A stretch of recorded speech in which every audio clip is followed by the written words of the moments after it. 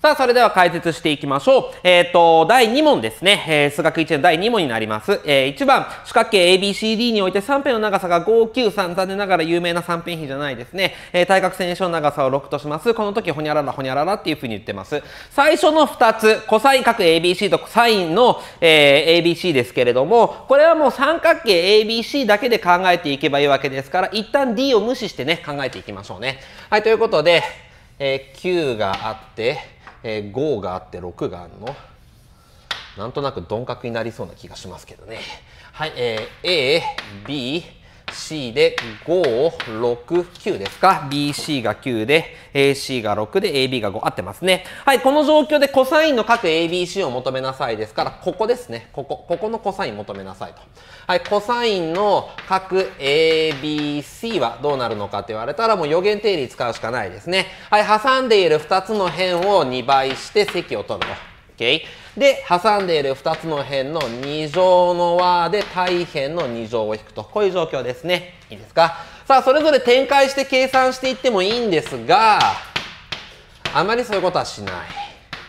いいですか ?9 の2乗引く6の2乗は2乗引く2乗ですから、和と差の積に因数分解できますね。和を取ったら9たす 6, 9たす6で15になります。差を取ったら9引く6で3になりますから、この状況で計算をしていきましょう。そうすると全部が5で割れますから、5で割って3で5と。こういうふうに計算をするとね、多少簡単になるのかなと思います。はい、分子5たすサザンが9ですから14になります。2と14約分できますから9分の7というふうに出てきますね。OK。さあ、サインの同じ角度ですから、サイン角 ABC は、ルート1マイナス9分の7の2乗で OK ですね。いいですか、まあ、当然プラスとマイナスがあるわけなんですけれども、角度が180度未満ですから絶対プラスですからね。OK。はい、ということで計算してください。9分の何になるんだ ?81-49 ですか、えー、これを計算して、ルート32になるわけですから、4ルート、よいしょと、2と。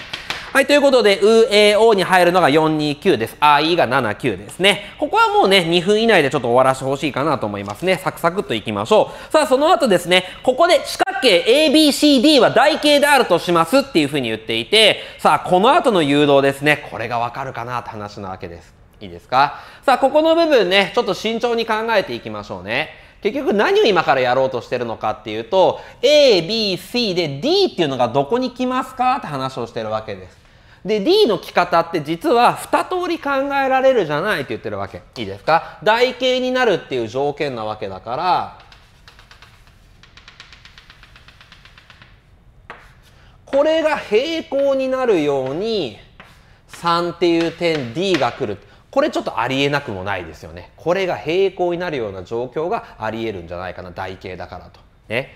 一方でこんなバージョンだってありえるじゃんと。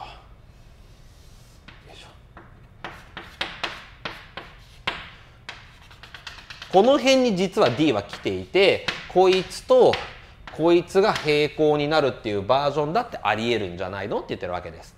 いいですか？なので、この二通りを考えていって、今から処理をしていきましょうねって言ってるわけです。さあ、どっち考えればいいどっちが正しいんだろう？そのヒントが何かっていうと、CD と AB サイン、AB サイン ABC っていうやつのこの不等式なわけですね。いいですか？さあ、これどういう意味があったのか分かりましたか？分かりましたか？いいですか？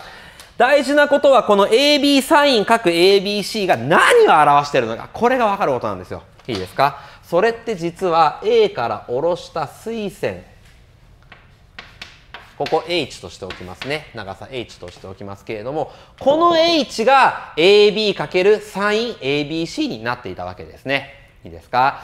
この感覚がね、ごめんなさい。ちょっとね、分かりづらいなっていう人は、えー、関連動画の方にですね、取説のこの話っていうのが入ってますので、ちょっとそっちの方見てくださいね。一応ざっくりと言っておきましょうか。ざっくりと言っておきましょうか。簡単に言うと、サインっていうのは、こういう直角三角形で考えていくならば、ここ分のここがサインになるわけです。斜辺分のこの高さの部分がサインになるわけです。ということは AB× サインっていうのはどうしたらどういうふうになるのか？斜辺×サインはここの長さになるよねって言ってるわけです。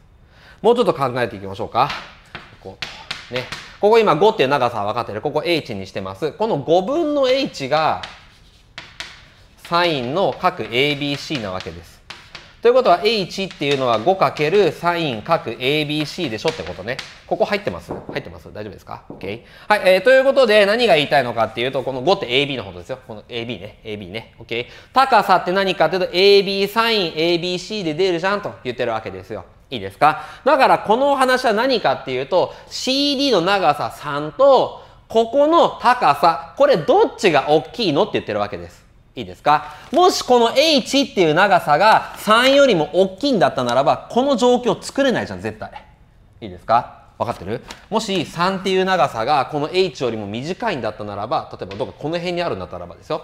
どういうふうにこうやって3を作って考えたとしても AD と BC が平行にならないじゃないですか。言ってる意味わかりますか？もしこの長さよりもね3っていう長さが長ければもし3っていう長さがこれぐらいあるんだったらさこれを半径としてこういう円を描いていけばどっかこの辺とかこの辺に D が来ることもありえるわけなので AD と BC が平行作れるわけですよね。いいですか？ということを今から考えていきましょうねって言ってるわけです。いいですか？ただこれもう論理的に考えていくと絶対にこの長さ DC の長さ3っていうのは、A、この H よりも絶対短いはずです。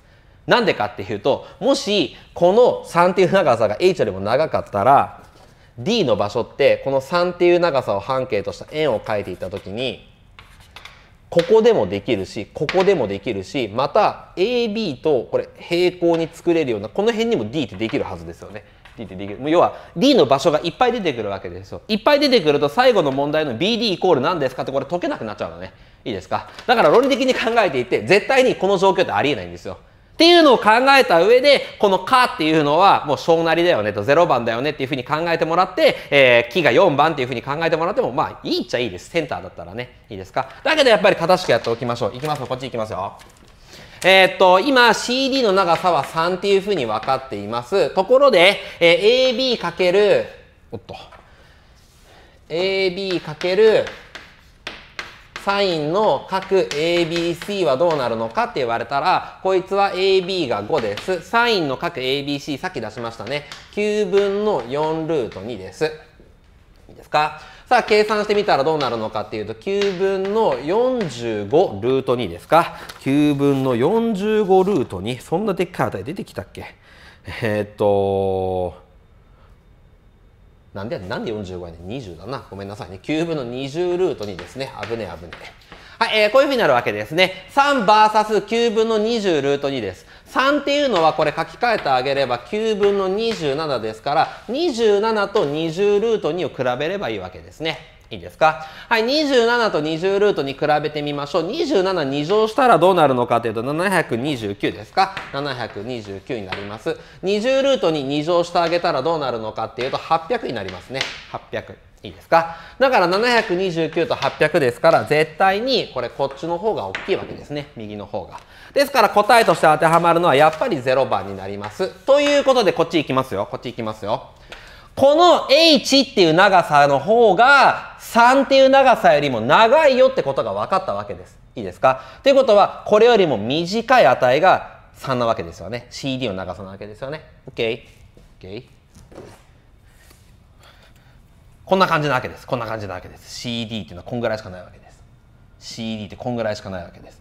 そうすると、これ BC と AD が平行って絶対作れないですよね。OK、AD ってこう右下がりに絶対になっちゃいますから。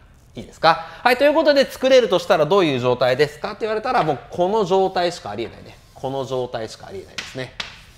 すなわち AB と CD が平行っていう状態しか作ることはできませんから、えー、っと、3番、4番どっちって言ったら4番になりますよってことね。OK。なので、まあ、消去法的にね、えー、っと、0、4っていうふうに選んでもよかったんですけれども、普通に考えたらこういうふうになりますよってことね。まあ、この辺ね、センターすごくいい問題作ってるんじゃないのかなって個人的には思います。この AB サインの意味合い、ね、サインとかコサインっていうのを単純にね、ただの三角比って捉えるんじゃなくって、AB かけるサインがこの高さを表してるんだな。この部分をちゃんと分かってますかっていう問題なので、問題の作り方はすごくいいのかなと思いますよ。はい。で、最終的にこれで、このね、対角線 BD の長さを求めなさいっていうふうに言ってると。いいですか、えー、これもね、一瞬だけ悩んでしまいそうなんですが、台形っていう情報がありますので、これ平行が分かっていると。そうすると、ここの角度今分かってるじゃないですか。ここの角度分かってるじゃないですか。